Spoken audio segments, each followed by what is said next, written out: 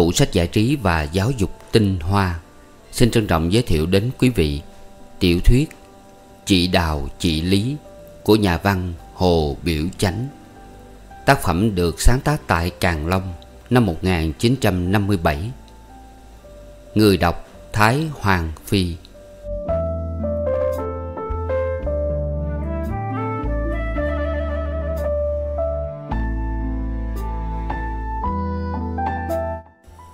9 Phần 6 Chương 2 30 Tết, Không còn ai mua bán bàn ghế nữa. Ông Thái đóng cửa tiệm, Giao cho người phục dịch ở giữ. Ông cũng về Sài Gòn lo rước ông bà. Bà Hòa đã có mua hoa quả chưng dọn trên bàn thờ Để cúng chung cha mẹ hai bên. Bên nhà bà Ngọc thì bàn thờ đặt trên lầu. Một bàn, bà thờ cha mẹ, Một bàn bà thờ chồng. Vì năm nay bà vui vẻ không còn ủ ê như trước nữa, Nên hai bàn thờ chưng hực khởi Bàn thờ Phật đặt phía trong, Gần phòng bà ngủ, Đặng khuya sớm bà cúng giái cho tiện, Thì bà cắm bông sen chung với bông huệ. Sen tượng trưng trong sạch, Nở trong dũng bùn mà không lem luốc. Còn huệ tượng trưng cho quảng đại từ bi, Vui cứu vớt mọi người, Không phân biệt giàu nghèo hay lành dữ. Không hẹn mà gặp mới vui. Chiều bữa 30 Cả hai nhà hai bên đều tiếp được một lượt thơ gửi về chúc mừng ngày xuân. Bên nhà ông Thái thì thơ của Hoài chúc chung cả nhà, Còn Khánh thì gửi riêng cho chị Đào và chị Lý một cái, Và cho bà Hòa một cái. Thơ của bà Hòa cậu chúc chung hai ông bà với Tòng, Lại thêm gửi gắm bà mẹ yếu đuối của cậu một lần nữa. Tiếng pháo nghìn xuân lụp sụp nổ vang tai, Mà hai nhà được thơ ở xa xôi gửi về chúc mừng nữa. Bởi vậy lớn nhỏ đều thêm hân hoan. Quên hết cái buồn đã qua, Mong tiếp cái vui sắp tới. Hai bà Hòa với Ngọc đã thỏa thuận trước cùng nhau. Tết này hai nhà nhập một mà chung vui, Cho bà Ngọc khỏi buồn với cảnh hiu quạnh, cô đơn Trong dịp gia đình nào cũng vui đoàn tụ. Buổi sớm mời mùng một, Bà Ngọc qua ăn cơm chung với gia đình của bà Hòa. Rồi buổi chiều, cả nhà bà Hòa Qua ăn cơm bên bà Ngọc luôn. Luôn mùng 2 mùng 3 cũng vậy. Mà trong ba ngày xuân có đi chơi Thì cũng đi chung với nhau. Sáng mùng 1 Bà Ngọc cúng tiền nhân rồi Bà qua sớm mà chúc xuân cho vợ chồng ông Thái Đào, Lý với Tòng ra mừng bà. Bà đã sắm sẵn đồ để biếu cho ba trẻ mừng tuổi Mà bà không cho hay trước. Bây giờ bà mới đưa ra cho Tòng một đồng hồ tay với một chiếc máy. Còn Đào với Lý thì bà cho mỗi cô một đôi bông tai Nhận hộp xoàn 5 ly chứ không lớn lắm. Bà nói cho để hai con đi học. Khỏi đeo bông lòng thòng như đầm Mà mất cái vẻ thiếu nữ thuần túy Việt Nam. Ba trẻ vui mừng, cảm ơn mà thâu nhận. Vợ chồng ông Thái càng thêm cảm tình, Nhận thấy rõ ràng, hễ mình làm phải thì gặp phải. Dầu làm nghĩa với người quấy, Cái nghĩa đó cũng không mất. Tết chung vui với nhau trót ba bữa, Ở nhà nói chuyện với nhau đã vui, Mà hai xe đi chơi cùng nhau cũng vui. Chiều mùng ba, hẹn ăn cơm bên nhà bà Ngọc. Ông Thái nghỉ trưa rồi ngồi dậy uống trà. Ông mới tính tới công cuộc làm ăn. Bà Hòa hỏi chồng vậy chớ cuộc trồng mía và làm đường của bà Ngọc. Ông liệu làm sao sắp đặt giùm cho bà Chứ bỏ sụi cho ông Hương Hào Điều ăn hết. Ăn mà vô ơn thì uổng lắm. Ông nói ông đã có tính rồi. Ngặt muốn lợi cho nhiều Thì phải làm cho lớn, Mà làm lớn thì phải xuất vốn nhiều. Bà Ngọc không ham tiền bạc, Không có chí thương mãi. Sợ bà không có vốn nhiều mà làm. Dầu có, còn sợ bà không dám xuất nhiều Thì khó làm công việc lớn. Bà Hòa suy nghĩ rồi nói, Bây giờ lập lò mua mía Mà làm đường chắc có lợi lớn lắm. Nếu cô hai nhút nhát hoặc không đủ tiền Thì mình hùng vốn. Rồi à, tôi phụ coi sóc với cô. Tôi thấy công cuộc làm ăn tôi ham quá. Mình có vốn mấy chục ngàn, Phải để hờ trong tiệm mua ván mua cây Và trả tiền công cho thợ. Buông tay sao được? Mà công cuộc đó làm Phải xuất vốn một hai trăm ngàn. Dầu mình trút hết vốn của mình vô Cũng không thấm tháp chi lắm. Hôm nay cô hai trông cậy cha nó lắm, Vì mất Tết nên cô không dám nhắc. Chiều nay đã hết Tết rồi. Thôi, mình qua bàn tính với cô thử coi. Thấy mấy con đừng đọc sách, Hai ông bà mới rủ nhau đi trước qua nhà bà Ngọc. Dặn con chừng gần ăn cơm tối sẽ qua sau với nhau. Qua vừa ngồi yên thì bà Hòa nói, Bữa nay gần hết Tết rồi. Cha sắp nhỏ rảnh, Nên qua bàn tính với cô về việc lò đường, Coi ý cô muốn à, để y như vậy hay là sắp đặt lại. Bà Ngọc vội vã nói, Tôi muốn sắp đặt lại chứ. Tôi đã có nói với anh chị bữa hổm rồi. Hôm nay tôi suy nghĩ lại, Tôi càng muốn nhiều hơn nữa. Nhưng sắp đặt lại thì phải có anh ra công giúp tôi mới được. Chứ tôi dở quá. Tôi làm một mình sao nổi Sợ làm bậy hư hại thêm chứ không ích lợi gì. Hôm lên Bình Phước về, Anh hứa để anh suy nghĩ ít bữa. Anh lập chương trình cho rành, Đặng nói cho tôi hiểu. Rồi anh giúp tôi mà sắp đặt lại cho hẳn hồi Nghe như vậy tôi mừng quá, Trông cho mau qua khỏi Tết Đặng à, bắt đầu làm công việc đó cho gấp. Vì đã tới mùa đốn mía rồi. Nhưng hôm nay tôi ái ngại, Điều này là anh mắc trại đóng bàn ghế lòng thòng. Nếu anh giúp tôi thì anh phải bỏ phú cho thợ làm như vậy Thì thiệt hại cho anh chị nhiều quá. Bởi vậy tôi không biết tính lẽ nào cho tôi có lời Mà anh chị cũng khỏi lỗ. Bà Hòa nói, Nãy giờ vợ chồng tôi bàn nhau bên nhà. Ông ái ngại xong ái ngại về chỗ khác. Ông nói theo thời buổi này trồng mía làm đường là một nguồn lợi lớn lắm, Lại chắc ăn lắm. Xong muốn thâu lợi lớn thì trước phải ra vốn nhiều. Ông không biết cô hai à, có vốn sẵn và dám ra vốn hay không. Nếu không có hai điều kiện đó thì thà để luôn cho anh Hương Hào Điều anh làm. Mỗi năm anh đóng cho cô mười mấy ngàn thì khỏe hơn. Bà Ngọc nói, vốn thì có sẵn. Nếu anh chị chịu giúp tôi, Anh ra công sắp đặt Và coi làm à, Thì xuất vốn bao nhiêu tôi cũng dám, Tôi có sợ gì đâu. Bây giờ ông Thái mới nói, Cô hai nói như vậy thì tôi vững bụng. Hôm lên Bình Phước tôi dòm sơ qua, Thấy mối lợi to lớn. Tại anh Hương Hào Điều, Một là không có vốn, Nên không thể bành trướng công cuộc làm ăn cho kinh dinh được. Hai là anh lù khù, Ham lượm là cái lợi còn con. Anh không thấy cái lợi lớn. Tôi nghĩ kỹ lại, nếu nói ảnh lương lẹo, sớt bớt khuê lợi chút đỉnh thì có lẽ trúng. Còn nghi ảnh gian lận đến bạc muôn thì quan cho ảnh. Vậy để cho ảnh làm luôn thì cô lợi ích Nhưng cô khỏe khỏi lo chi hết. Còn nếu cô muốn lợi nhiều mỗi năm vô năm mười muôn, Thì cô phải xuất vốn ra cho nhiều. Phải tổ chức cuộc trồng mía, Cuộc làm đường cho hẳn hồi Cô phải mệt lo. Về phần tôi, thì cuộc làm ăn của tôi có tổ chức rành rẽ, nên tôi có thể giúp tổ chức dùm cho cô trong ít tháng đầu. Cho guồng máy chạy đều đều, Rồi cô đứng ra điều khiển được. Từ Bà Chiểu lên Bình Phước xa chừng 10 ngàn thước, Tôi có xe nhà. Mỗi ngày tôi chạy lên dầm chừng vài giờ được. Tôi không bỏ trại bỏ tiệm mà cô sợ tôi ờ, vì giúp cô nên ờ, tôi bị thiệt hại. Bà Ngọc nói, Tôi nói thiệt với anh chị, Hồi trước tôi chán nản cuộc đời, Lại thêm buồn rầu nổi con, nên tôi sống như người không có hồn. Tôi không ham tiền bạc, Tôi không muốn làm giàu. Tìm được con lý tôi mấy tháng nay, Tâm hồn tôi biến đổi không phải như hồi trước. Tôi muốn làm cho ra lợi đặng để cho hai đứa con tôi chung hưởng. Ông già tôi mất, Để lại trong ngân hàng cho tôi đến bạc triệu chứ không phải ít. Hồi cha thằng Khánh còn sống Thì tiền ăn xài trong nhà ổng bao hết. Ổng không cho tôi lấy tiền trong ngân hàng ra mà dùng. Ông chết ông cũng còn để lại cho mẹ con tôi mấy chục ngàn. Bây giờ anh giúp tôi Thì tôi lấy bớt tiền của cha tôi ra, Một mớ mà làm lợi thêm cho hai đứa con tôi. Có sao đâu mà sợ. Vậy nếu à, anh giúp với tôi Thì tôi dám làm. Mà giúp tôi à, thì à, Xong công cuộc làm ăn của anh khỏi bị bê trễ, Tôi mới dám chịu. Chứ lợi cho tôi mà hại cho anh. Dầu tôi có lợi bao nhiêu, tôi cũng không ham. Cô hai mới tu mà cô biết nói câu đó Thì thấy cô đã có đạo tâm rồi. Cuộc làm ăn của tôi đâu đó tôi đã cắt phần cho người coi sóc. Trong trại một có ông thợ hai già đứng cái. Ông chỉ công việc cho thợ phụ làm. Ngoài tiệm thì có ông giáo hiệp. Ông tiếp khách và bán đồ thế cho tôi được. Đồ đạt thứ nào cũng có định giá, tối thiểu sẵn rồi. Miễn đừng bán với giá đó thì thôi. Tôi phải có mặt, đặng tiếp khách hàng quen thỏa nay. Nghĩa là tôi lo mặt giao thiệp. Tôi cũng cố tín nhiệm cho tiệm Thái Hòa. Tôi duy trì lòng tín nhiệm của bà con anh em mua bán với tôi thỏa nay. Thiệt nếu giúp cô mà phải bỏ tiệm đến đâu ba ngày. Cái đó bất tiện. Lúc nào rảnh thì đi, Giúp sắp đặt cho cô trong một thời gian chừng đôi ba tháng thì không hại chi hết. Vậy thì được, Mà nói chuyện xuất vốn anh có tính coi à, phải xuất chừng bao nhiêu?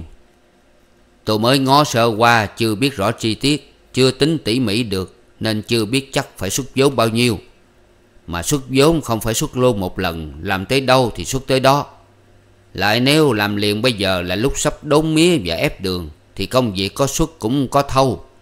Mặc dầu không biết sẽ thâu được bao nhiêu. Để tôi kể phỏng công việc làm cô nghe Thì cô sẽ hiểu. Ừ anh nói phỏng chừng thử coi. Trước hết phải chia công việc của cô ra làm hai loại. Một loại thực tế, một loại tinh thần. Loại thực tế chú trọng về lợi Còn loại tinh thần chú trọng về danh. Tôi vẫn biết người tu hành chuyên chú trọng về đạo đức. Hãy nghe nói danh lợi thì họ trề môi, miếm miệng Họ bỉ bạc khinh khi. Theo ý tôi con người sống giữa thế gian Mà không kể danh lợi thì làm sao mà tấn quá?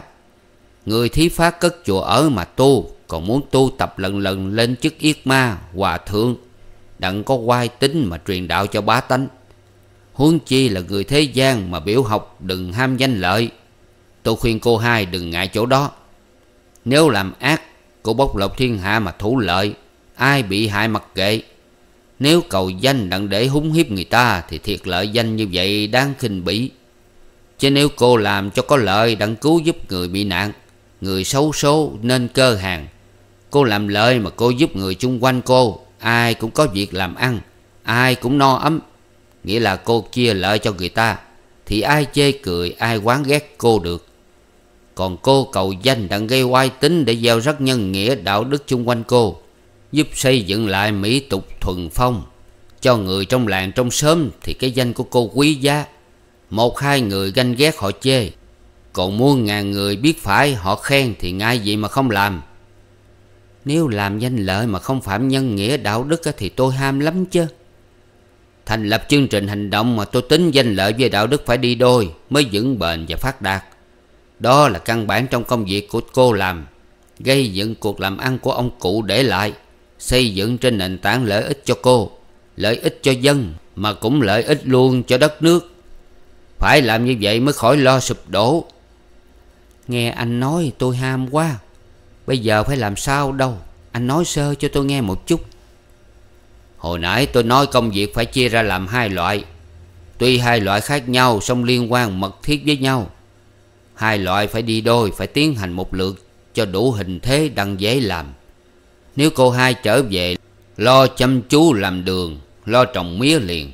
Cô không ngó ngàng tới nhà cửa vườn tự của ông cụ hồi trước, thì người trong vùng chẳng khỏi dị nghị. Họ khinh rẻ cô, Họ xem cô là người su lợi. Thấy thời cuộc vừa yên thì chạy về cào cấu, Lo hốt của cho nhiều, Không kể chi đến cố hương, Không màng người trong xóm Cô gây một luồng ác cảm bồng bột trong vùng. Ai cũng đồn cô về Đặng dùng mồ hôi của dân nghèo mà hốt bạc, Đặng đem xuống Sài Gòn ăn xài cho sang trọng sung sướng. Họ rủ nhau đừng thèm mướn đất của cô Đừng thèm giúp công cho cô trồng mía. Thì mùa sau cô có mía đâu mà ép nên lo lập lò đường. Vậy à, điều cần nhất là lo lập sở vườn lại, Tính cất nhà lại, Làm cho bà con trong làng thấy cô có ý muốn trở về ở với họ chung lo làm ăn như họ. Cô gây thiện cảm với mọi người. Họ mới vui lòng hiệp tác với cô mà làm việc lớn được. Kế đó, cô chia đất cho họ mướn, đặng trồng mía. Nếu cho mướn không hết, Số đất còn dư bao nhiêu Thì cô mướn nhân công trồng cho cô. Mía trồng giáp hết rồi Thì cô sẽ lo xây cất lò đường lại cho hắn hôi. Mía trồng tới chín mười tháng mới đúng lứa mà đốn được. Trong lúc đó, thiếu gì ngày giờ cho cô tổ chức lại cuộc làm đường, Nên cần gì phải lo gấp. Ấy là theo chương trình của tôi, Thì công việc của cô phải phân ra làm hai loại cho rành. Thứ nhất là lập vườn lại, Dọn nền để cất nhà lại. Thứ nhì là lo trồng mía cho giáp hết, Rồi lo xây cất lò đường lại cho đàng hoàng. Lập vườn thì tôi dòm thấy à, ông ba Lự sốt sắng muốn giúp cô.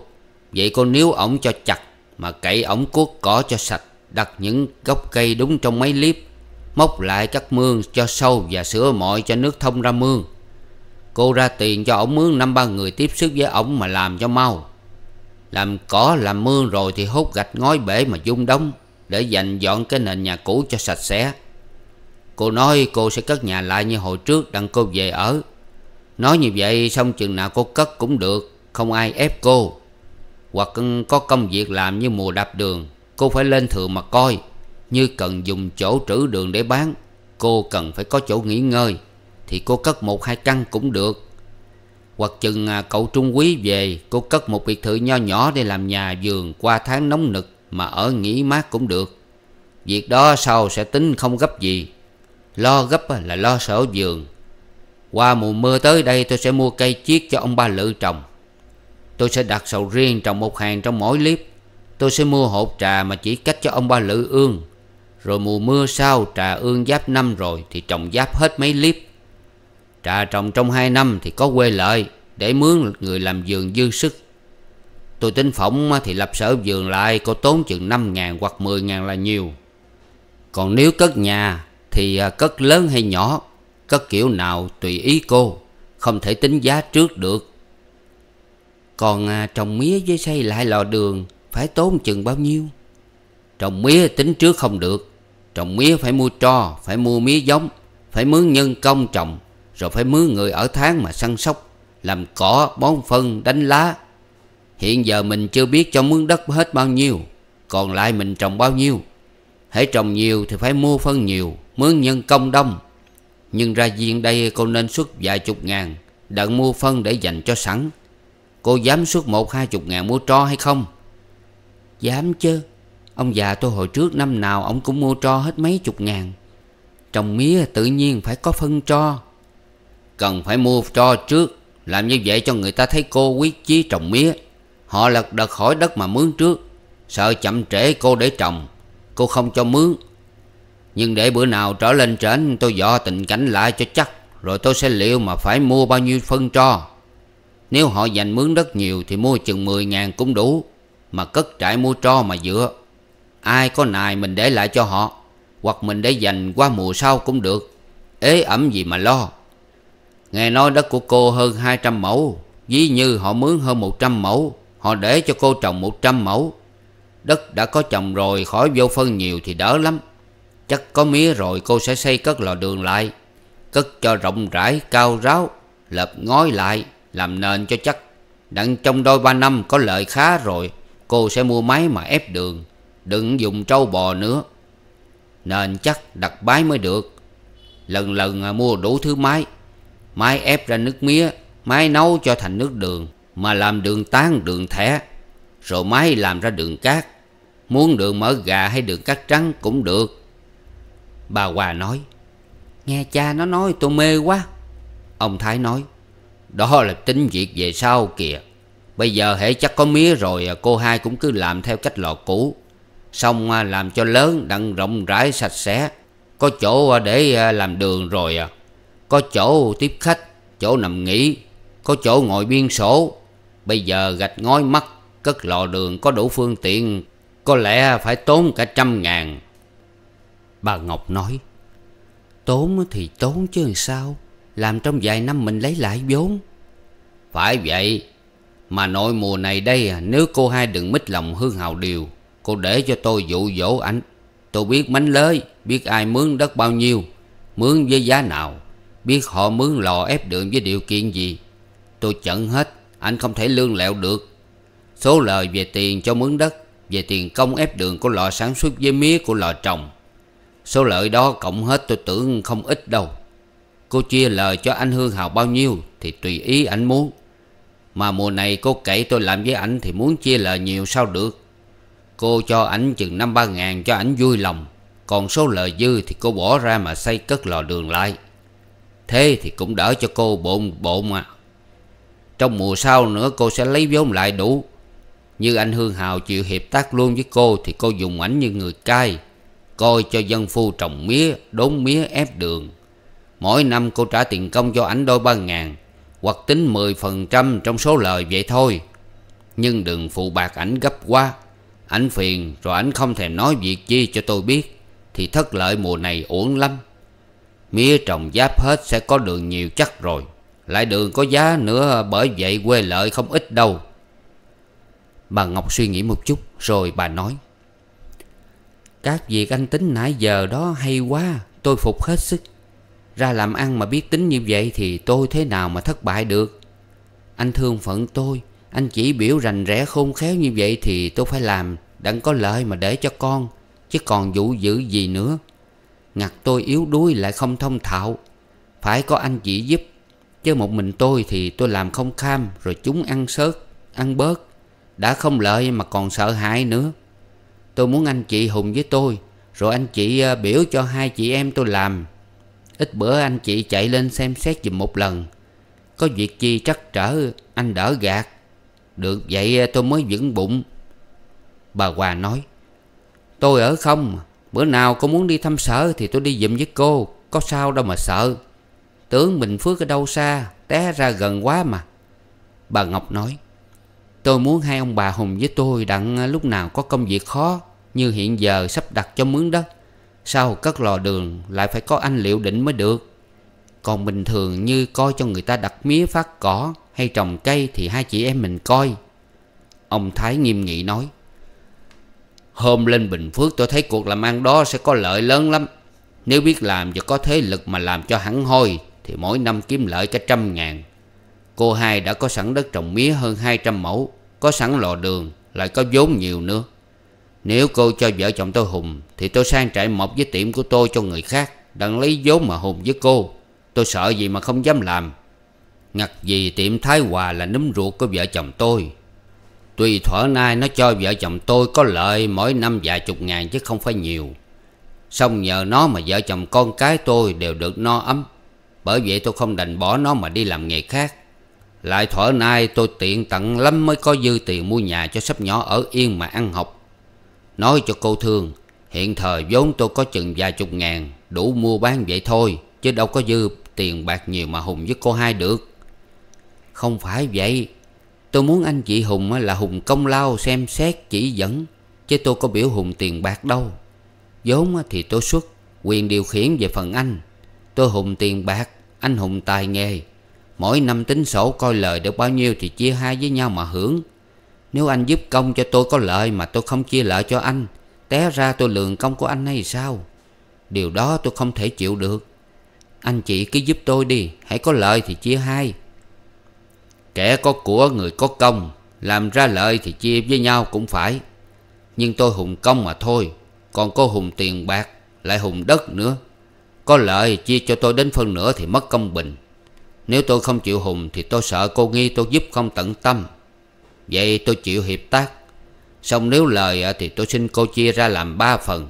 Một phần về công của vợ chồng tôi, Một phần về công của cô. Vì cô cũng có công lên xuống coi chừng như vợ chồng tôi vậy. Còn một phần về vốn với đất của cô Để vô mà sanh lợi. Cô cho vợ chồng tôi hưởng một phần ba trong số lời mà thôi. Tính như vậy mới công bình. Phải công bình là tôi mới chịu. Được được. Anh muốn hưởng một phần ba tự ý anh. Việc đó không gấp, Có lợi rồi sẽ bàn lại. Bây giờ anh tính bữa nào đi lên Bình Phước nữa. Theo tục lệ của ông bà mình hồi xưa Thì hạ nêu rồi, Người ta mới làm việc. Đời này là đời sanh tồn cạnh tranh, tay phải làm hàm mới có nhai. Nghỉ chơi lâu quá, các ngành sinh hoạt đều tê liệt. Nhiều việc phải hư hỏng rồi làm sao? Bởi vậy Tết họ nghĩ có mùng 1 Qua mùng 2 đã thấy có chợ, Có người lăn xăng buôn bán. Ở đồng có người rải rác gặt hái. Hôm nọ ông giáo hiệp coi lịch, Ông nói à, mùng 4 tốt ngày, Xuất hành hay mở tiệm đều được hết. Vậy sáng mai tôi vô tiệm đặng cúng khai trương. Có muốn lên Bình Phước thì xế, tôi đi được. Lên thăm ông ba Lự với Hương Hào Điều một chút.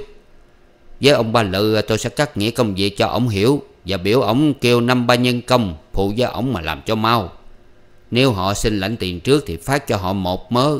Đặng họ ăn mà làm. Còn với anh Hương Hào Điều Thì tôi nói chuyện với anh Tìm hiểu công việc của anh sắp đặt, Đặng biết rõ mùa này anh mướn trồng cho cô được bao nhiêu mía. Đất dư, ảnh cho ai mướn mà trồng? Người nào mướn bao nhiêu đất? Mướn giá nào? Có giao họ phải bán mía cho lò mình hay không? Nếu họ không bán, họ mướn lò ép đường cho họ, Thì lò ăn công ép bao nhiêu? Tính tiền theo cách nào? Mùa rồi đường bán giá nào? Trâu bò mướn ép mía trả tiền cách nào? Nhân công trồng mía và đống mía trả tiền công bao nhiêu một ngày? Mua tro ở đâu? Mua giá nào? Mỗi mẫu đất phải rắc bao nhiêu tro? Bạn hàng đến lò mua đường rồi, Họ chở đi. Hay lò phải kiếm bạn hàng mà chịu giá, Rồi lò phải chở đường đến mà giao cho họ. Tôi phải hỏi cho kỹ và tôi biên cho rành. Tôi mới kiểm soát được công việc của Hương Hào Điều làm mùa này, Và mới sáng suốt mà tiếp tục làm mùa tới. Gần tối, ba trẻ qua ăn cơm. Bà Ngọc được vợ chồng ông Thái chịu hùng công, Đặng gây dựng công cuộc làm ăn của ông già bà hồi trước. Lại thì bà vui mừng hết sức. Vui được kế nghiệp cho cha Và mừng được sanh lợi mà để cho hai trẻ. Bà Hòa cũng mừng có công việc cho bà làm, Được Hùng chia lời mà khỏi ra vốn.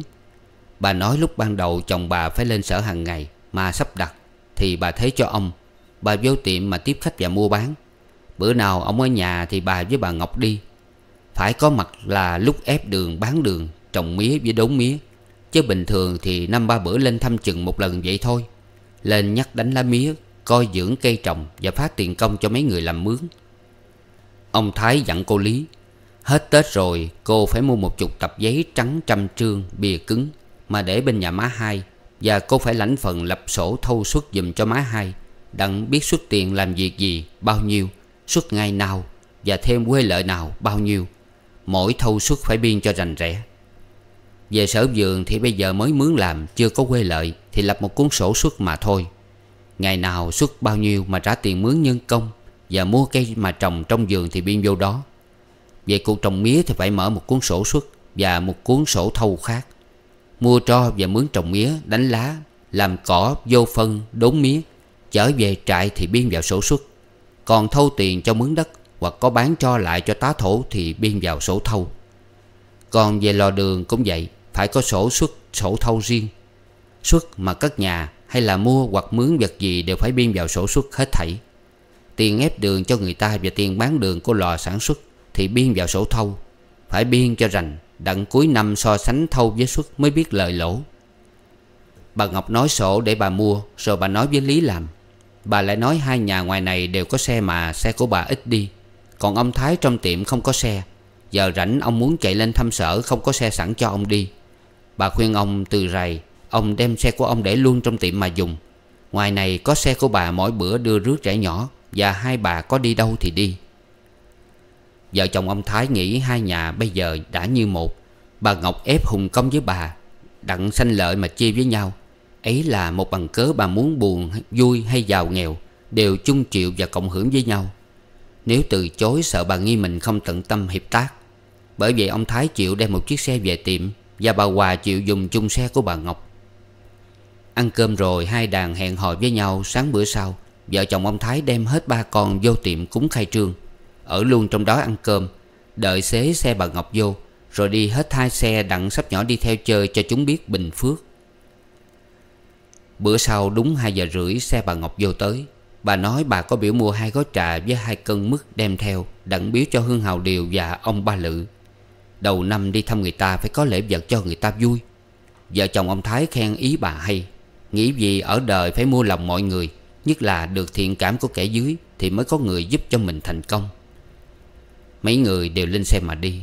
Ông Thái biểu đào với Lý lên xe của ông mà chạy trước với ông. Hai bà dắt Tổng đi xe lớn với hai bà chạy theo sau. Hai xe tới đều chạy hết vô sông mà đậu Vợ chồng ông Thái với bà Ngọc Thấy ông ba Lự đương lui cui dọn dẹp cái nền nhà cũ, Lại có ba người ở trần đứng cuốc cỏ trên mấy liếp giường Thì chưng hửng. Bà Ngọc xách một gói trà với một gói mứt xuống xe, Bà kêu ông ba Lự mà hỏi, Vừa mới hết Tết ông đã kêu anh em lại làm hay sao ông ba?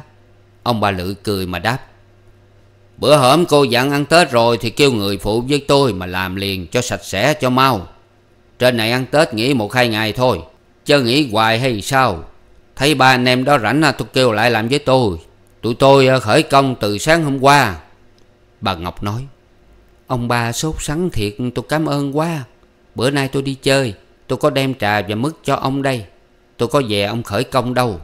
Ông biểu ba anh đó nghỉ lại đây cho tôi nói chuyện một chút. Nghỉ nấu nước chế trà, Rồi ăn mứt uống trà chơi một lát. Bà đưa hai gói trà cho ông ba. Ông cảm ơn, Rồi kêu ba người kia lại. Ba người lễ phép chào khách hết. Bà Ngọc nói, Tôi là người gốc gác ở đây Chứ không phải người xa lạ. Ông ba kêu ba anh em lại giúp cho tôi Sửa sang vườn tược nhà cửa của cha tôi hồi trước. Ba anh sốt sắng giúp liền. Thiệt tôi cảm ơn lung lắm. Bây giờ nước nhà đã được tự do độc lập. Tôi về sửa sang chỗ ở lại cho êm ấm, Đặng tôi ở với bà con trong làng cho vui. Tôi xin mấy anh cứ hiệp với ông ba mà giúp tôi. Tôi biết ơn lắm. Bữa nay nhân dịp Tết, Tôi về thăm mồ mã cha mẹ thình lình. Sẵn gặp mấy anh đây, tôi xin đưa trước cho mỗi người vài trăm bạc. Đặng mua gạo mà ăn, mà làm việc cho tôi. Bây giờ dọn mấy clip cho sạch cỏ, Cuốc mấy gốc cây chết mà bỏ. Vét các mương cho sâu, Sửa mọi nước lại cho thông. Rồi dọn nền nhà cũ lại cho bằng thẳng Đặng có sẵn chỗ mà cất nhà mới. Bà Ngọc mở bóp lấy bạc ra Mà trao cho ba Lự với ba anh kia, Mỗi người 200 đồng và nói tiếp. Đây là số tiền tôi đưa trước, Mấy bà con cứ làm luôn à rồi sẽ tính. Từ đây đâu ba bữa tôi sẽ lên một lần mà thăm. Mấy bà con cứ muốn tiền công theo làm ngày hay là làm tháng, Mai mốt tôi lên rồi nói cho tôi biết. Tính cách nào cũng được, Miễn bà con làm hẳn hồi tận tâm giúp tôi, Đặng sau này tôi trở về ở với bà con cho vui. Mấy anh tính tiền công với người khác bao nhiêu Thì tôi cũng trả như người ta. Mà mấy anh làm kỹ lưỡng Thì tôi thưởng công thêm là khác. Công việc của tôi còn nhiều lắm Chứ không phải làm chuyện này rồi thôi. Trời xa mưa tôi còn đặt cây mà trồng, Còn lo trồng mía, Còn cất nhà cửa. Làm cả năm sợ cũng chưa hết công việc. Mấy anh chịu giúp tôi Có lẽ tính làm tháng tiện hơn Hoặc làm năm cũng được. Muốn lãnh tiền trước, Cứ nhắn tôi sẽ giúp cho. Mấy anh suy nghĩ rồi mai mốt tôi lên sẽ nói cho tôi biết. Còn à Ông ba, Ông có cuốc cỏ dùm chung quanh mồ mã cho sạch chưa? Ông ba Lự nói. Hôm cô biểu đó, bữa sau tôi làm liền à. Làm một ngày thì xong hết. Cô bước lại đó mà coi. Bà Ngọc biểu mấy người làm nên nghĩ nấu trà uống cho đã khác Rồi sẽ làm nữa. Để bà đi viếng mộ và thăm anh Hương Hào Điều Rồi bà sẽ trở lại. Bà biểu Tòng lại xe lấy gói trà Và gói mứt nữa rồi đi theo sau. Bà dắt đào lý với vợ chồng ông Thái lại viếng hai ngôi mộ. Thiệt quả ông bà đã cuốc cỏ sạch sẽ và ban đất bằng thẳng chung quanh mộ. Bà lấy làm hài lòng. Ông Thái nói ở đời hãy mình có tiền Mà mình biết ở rộng rãi với kẻ nghèo, Thì ai cũng tận tâm tận lực mà giúp mình. Ông khen bà Ngọc hồi nãy nói với mấy người làm công đó trúng điệu lắm. Ông thấy họ lộ vẻ cảm tình nhiều. Ông chắc họ sẽ là bộ hạ chân thành của bà Và họ sẽ giúp gây thiện cảm cả vùng này. Ai cũng kính mến bà hết.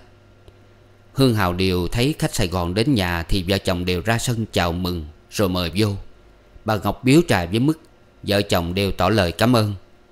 Nói chuyện chơi một hồi, Rồi bà Ngọc rủ trở lại chỗ mấy người làm giường Đặng cắt nghĩa cho họ làm.